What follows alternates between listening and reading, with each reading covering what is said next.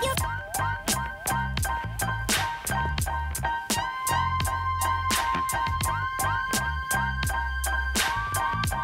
everyone, my name is Jabari K. Smith and you're watching The Professional Athlete.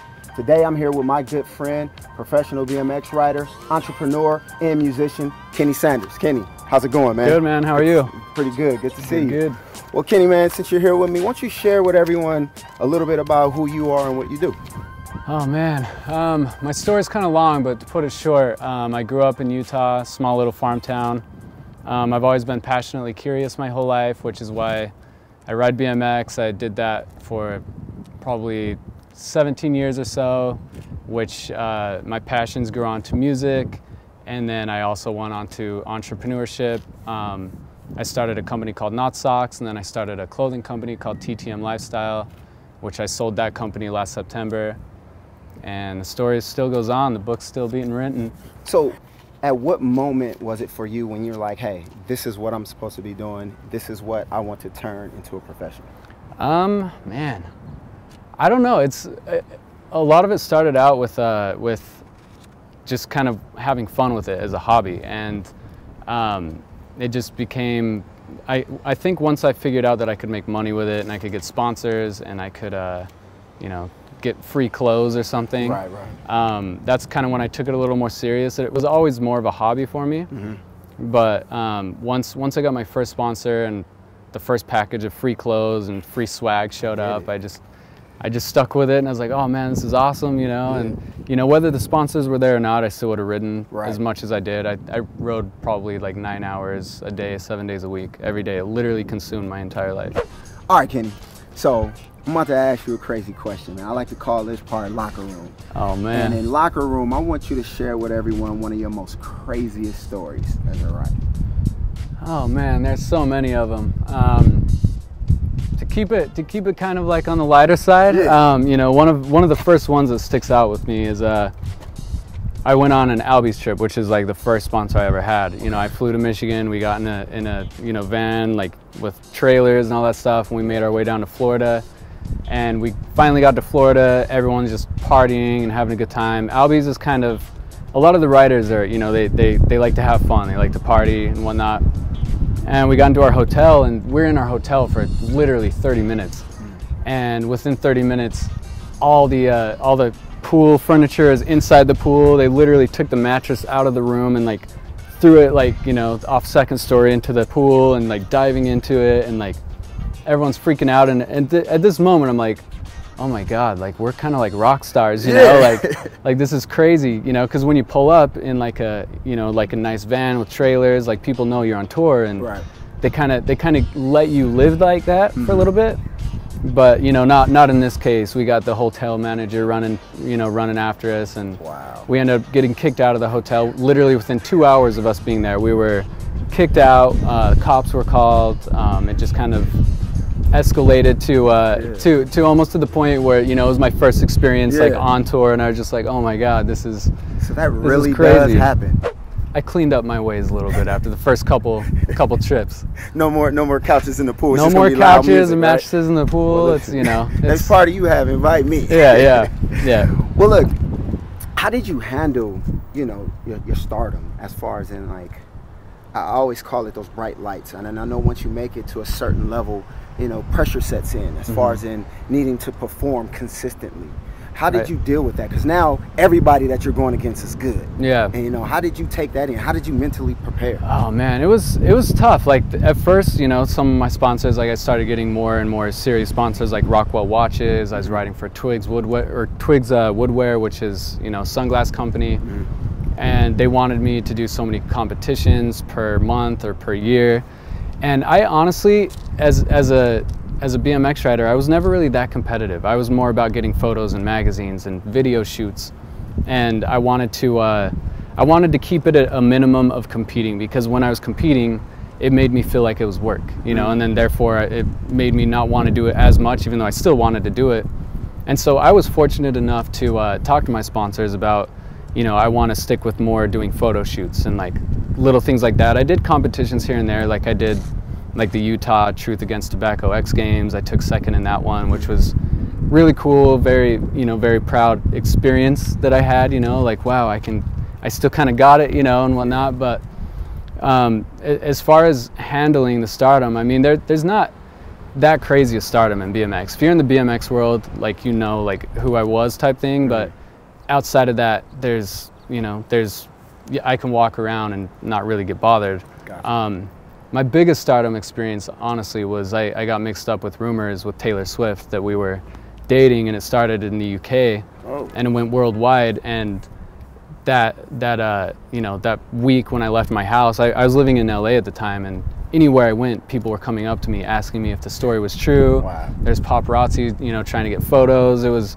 a whole crazy experience, and it kind of overwhelmed me. So I have a cabin in Utah, in the middle of nowhere. It's in Fish Lake, and uh, I, I escaped there for for about a week and a half after that rumor came out because I couldn't go anywhere. You know, it was, it was yeah. crazy, and that was that was more stardom than I've ever felt in my life. It was, Gotcha. it was insane. Well, look, I also want to talk about. I mean, there's so much more to you. You're an entrepreneur. You're in the music. So let, let's talk about that. Before I get into that, at one point in time, I, I use the terminology: you have to put the cleats up. I mean, and hey, I got to step away from the game. Right. You may do it just for joy and fun and leisure, but this is not something that's going to generate revenue or Right. living for you.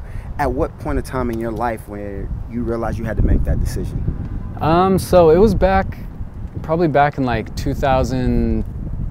Oh man, like 2012 or something. I broke my foot really, really bad in like six spots. I tore ligaments. I was out for probably a year. And so if I'm not out there getting photos or doing anything for my sponsors, you know, there's nothing coming in type thing. And so um, I was also talking with a couple older riders that when they're when they're not professional anymore, when they get too old to ride, they have to find something else. You know, they it's not like football or basketball or something that you can retire from and have money for the rest of your life. You need to like get it together quick. Right. And so I, I actually uh, talked to Dave Mirra about it a little bit, and he he's an entrepreneur. He does a lot of amazing things, and that kind of got me into uh, you know maybe I should maybe during this time that I'm injured I should start a company or something to get some sort of money coming in. And I ended up starting Not Socks, which is that sockless solution company that I invented, and um, it's it, it's been amazing. And I actually took about three three and a half four years off of BMX riding to get that going because I I then almost got burnt out on BMX and became obsessed with business because it's something I've always wanted to get into. And during that time, while while uh, you know Not Socks was starting up, I started a T-shirt brand because if I sold a couple T-shirts a week, that's Yeah. Gas money, that's Right. food on the table, you know, goes towards rent.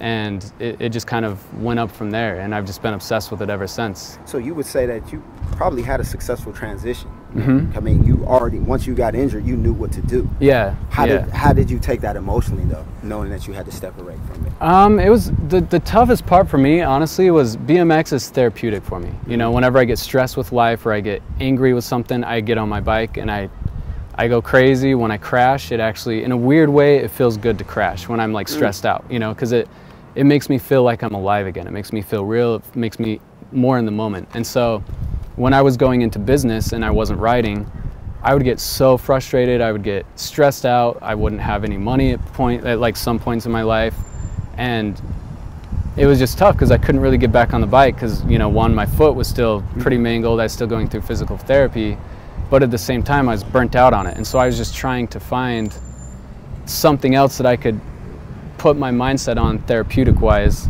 and that honestly led me back to BMX. You know, business is therapeutic for me, but it doesn't give me the type of adrenaline that BMX does when I'm about to crash on some huge jump or something. It's like, so that that honestly led me back to BMX. All right, Kenny, I got a product with me that is going to change the game, especially for people who are into the sockless lifestyle. I have with me the Not Sock. Explain to everyone how you came up with this product, the concept of it, and just give us the story behind it. So growing up, I you know growing up in a small little town, I, I hardly wore shoes as it was. If, if I went to ride bikes, I would just put my shoes on. I never wore the socks with it because I'd get too hot, you know. And so with going sockless, everybody knows if you go sockless, you sweat in your shoes. That sweat stays in your shoes, and your shoes will smell like sour chips after a while, and you gotta you gotta throw them away, you know, Yeah. after, after a month or so, especially with doing an, uh, like an extreme sport, you know, Yeah. sweating all day. And so I, I learned to sew at a young age. I just got really curious on how to sew, so I went to Walmart and bought a sewing machine, and I started to like you know trim my clothes up and just do little weird things like that. And I was kept wondering like, what can I do about this sockless thing? You know, I'm I'm throwing away so many shoes. I started looking at the sock and I started looking inside my shoe and I was like, wait, I could just cut this sock up and like sew it around the insole to where I'm still sockless, but I'm standing on a sock. Right. And then that way, when I'm sweating, the sweat goes into the sock I'm standing on. At that point, we decided to, you know, research odor eating stuff where we put bamboo and charcoal inside of the actual cotton of the sock, which eliminates odors. Mm. That way, when you take your foot out, there's no there's no odor whatsoever. Yeah. And that's it's just you know we're still we're still going at it, but at this point, we've sold worldwide. We sold, you know, over twenty thousand just online alone Wow. in the last year and a half. It's Wow. it's absolutely incredible. Man, this is awesome. I mean, I'm wearing it right now, and like I said, my, my feet feel dry. When I take my shoes off, there's no odor. Like, I really love this product. It- it- er, the magic is in the actual sock, but Exactly. Again, it's not meant to go around your sock. It's meant to go around an insole. Exactly. And where can an individual find this product? So we, we're in a couple shops. Like we're in one um, called Hipster Market in Brooklyn, New York. Okay. Um, we're in a Hawk on Sunset Boulevard, but main the, the main business for us is online. Got it. Everything's online. I mean, this day and age, everybody purchases anything This is online. True. This is true. So That's awesome. Well, you're also into more things. So, like I said, of course, you're an entrepreneur and you're a musician. So, share with us some of the things that you're working on. I know you just started a YouTube subscription, you and Mm-hmm. your significant other. Tell us a little bit about that as well. Yeah, so um, I'm dating Crystal Rose Guerra, which is a professional uh, figure skater, and um, when we started dating, um, we, you know, we, we just realized we don't have the normal lives that a lot of other people have. We don't Right. really do the nine to five thing, and um, we got it. We started looking into YouTube vlogging and how people are making money at that too, Exactly. and and then we are just like, you know what, we should just start filming our daily lives. It's not even with me riding BMX and her ice skating. There's very little of that on there. It's it's mainly us going to do dumb things that most couples go do. It's like one day we're like, let's go ghost hunting. Let's find like an abandoned house and Yeah. like go into it and just film and document the whole thing or let's let's go on a Hollywood tour or let's just walk around Beverly Hills and the whole Yeah. time we're just you know we bust our phones out and we just do little things but we're also you know we're, we're very mature in a lot of ways but Yeah. we're also very immature in a lot of ways and get it. that's what makes that that's what makes the YouTube funny um, the YouTube is called CKLA and so when you type that in you can find it and Yeah. it's it, it's it's just gotten a lot of growth. I mean, in five months, we within five months we were signed on with Broadband TV. We had over hundred thousand views on all, all of our videos. Uh, Nespresso sent us a coffee machine to do an unboxing. Wow. We're getting paid to do unboxings now. It's it's literally a whole side of business that I had no clue Wow. even existed, and it's So- it's amazing. So I'm really talking to the real life Dos Equis man. like right, you're the most interesting man in America right now. That's right. Give me that deal, man. Yeah, Give me that deal. you retire and then you date a, professional figure skater. That's how Yeah, life works. it's I need to switch shoes with you. It's crazy. So Kenny, from athlete to another, we understand that we have a hidden drive, a hidden motor Right. that sometimes only other athletes can identify. And my main thing is sharing with the world that athletes already have the DNA and have what it takes to be successful in this world. So share with us what were some of the principles that you translated from sports into your everyday life that's helping you sustain success right now. Um, I think the number one thing uh, in any athlete out there, when you're when you're trying, you fail so many times. Like like football, baseball, soccer, skateboarding, BMX, anything. You know, it's like any trick you learn or any anything you learn in sports, you you literally will fail 40 times Right. before you get it right. And then once you get it right, it's it's brain memory, and then it, Yeah. it sticks with you. And so moving that onto entrepreneurship, you know, most people that aren't into sports, they're so afraid of failure, you know, mm-hmm. but the truth is, like, it's just like a little kid when he's learning to walk. He falls so many times and then Right. finally he learns to walk and he's walking for the rest of his life. And with business, I, you know, I failed a couple times. I, I started some little, little things. I, I- and not even going like on the business, business itself, I failed on trying to trademark a business. I failed on trying to get a patent on something you know? I mean mm-hmm. it takes money that you've got to get investors for. It also takes research. A lot of people don't research and everything is on the internet that you want to learn. You just got to do the research. But you know going from athlete to entrepreneurship it just works because you're you're used to that failure and that discipline to get something going. Definitely, definitely. So tell me then, what would you tell the 16 year old Kenny today that will help them be just as successful as you are, even even more? Um, man, I, I just think kind of what I was saying. Don't be afraid of failure whatsoever. I mean, go after it, and the the more you fail, the more you're learning. You know, you need to you need to look at everything in life as you're going to school for it. Like. Mm. Like when you fail at something, you know not what to do the next time you try it. Right, you know, it's right. like like okay, I tried it this way, it didn't work, so now I'm going to try it this way. And if it doesn't work, try it a different way once you see a path that starts working, stick with that, you know, and that's that would have helped me along way faster when I was 16 years old because you know, I, I, even though I was used to trial and error with BMX, right. it was really hard. It, you know, I'd work my butt off on something and it wouldn't work, and then I'd have to take like a, a, a few month break from it, and I'd get burnt out on it. But the main thing is just stick with it. You know, right. realize that you're learning along the way. Okay, cool. Well, where can people find you? Um, you mentioned where they can go get the Not Socks, but where? What's the YouTube channel where they can watch your, your videos and listen to your music? So uh, music, you can just type in Sonder Saloon on Spotify, or you know go to uh, iTunes, type in Sonder Saloon or sondersaloon.com. Uh, my main social media outlet is uh, Instagram. I have Facebook and Twitter, but I mainly do everything from Instagram because it's easier for me time-wise and whatnot. So my Instagram is at Kenny Sockless just because I'm always sockless. Mm-hmm. I own Not Socks. Um, notsocks.com to check those out. My previous clothing company that I founded is ttmlifestyle.com.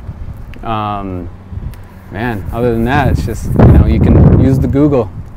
Cool. Well, look, Kenny, thanks for sharing your time with us. You had some valuable information that the world will hopefully receive. Um, look forward to visiting with you more. Thank you very uh, much. We got a, a, backstory just to share with everyone. He's good friends with my uh, my other family, my brother Riley. So they go they go way back. They ride together. So it was a mutual connection once Small we met. world. Small world. Small world. Exactly. Man. But uh, everyone, this is Kenny Sanders, and I'm Jabari K. Smith, and you were watching The Professional Athlete. So. Bye.